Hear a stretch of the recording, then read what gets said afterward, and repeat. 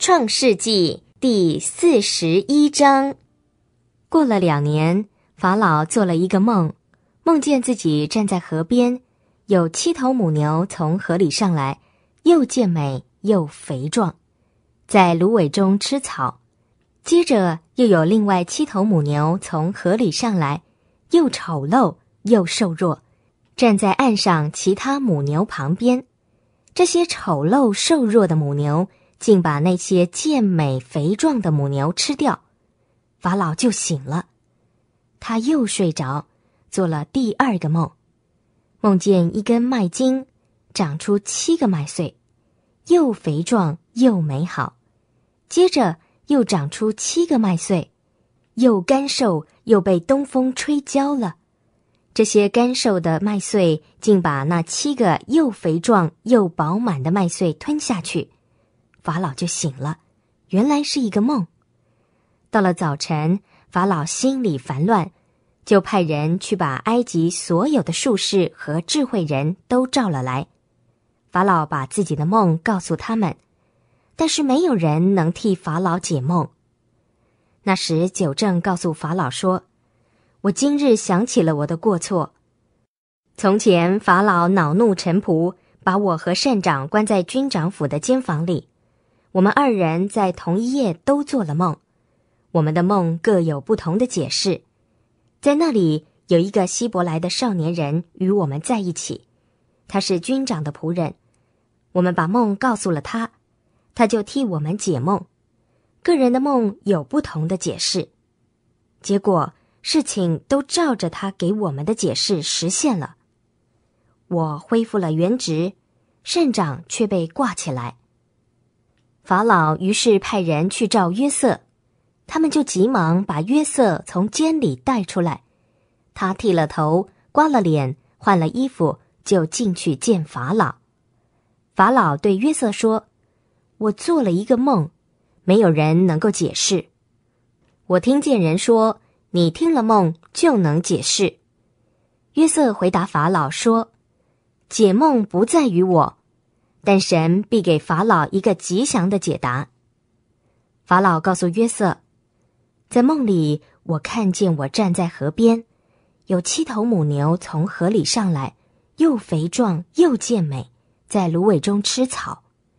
接着又有另外七头母牛上来，又软弱又消瘦。”又十分丑陋，在埃及全地，我没有见过这样丑陋的牛。这又消瘦又丑陋的母牛，竟把先前七头肥壮的母牛吃掉。他们吃了以后，却看不出他们是吃掉了肥牛，因为他们丑陋的样子仍是与先前一样。我就醒了，在梦里，我又看见一根麦茎，长出七个麦穗，又饱满。又美好，接着又长出了七个麦穗，又枯干又干瘦，又被东风吹焦了。这些干瘦的麦穗竟把那七个美好的麦穗吞下去。我把梦告诉了术士，但是没有人能替我解答。约瑟对法老说：“法老的梦都是同一个意思。”神已经把所要做的事告诉法老了。七头美好的母牛是七年，七个美好的麦穗也是七年，两个梦都是同一个意思。那接着上来的七头又消瘦又丑陋的母牛是七年，那七个不结实被东风吹焦了的麦穗也是七年，都是七年饥荒。这就是我对法老所说。神要做的事，他已经向法老显明了。看呐，埃及全地必有七年大丰收，接着又必有七年饥荒，甚至埃及地所有的丰收都被人忘记了。饥荒必把这地毁灭，因为接着而来的饥荒太严重了，使人不觉得这地有过丰收。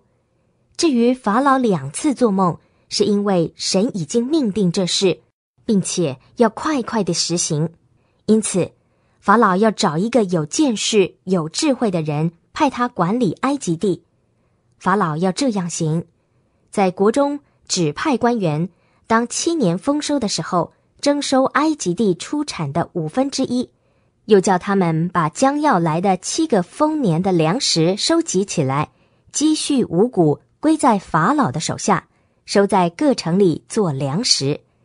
这些粮食要储存起来，可以应付将来埃及地的七年饥荒，免得这地被饥荒所灭。法老和他的臣仆都赞同这件事。于是法老对臣仆说：“像这样的人，有神的灵在他里面，我们怎能找得着呢？”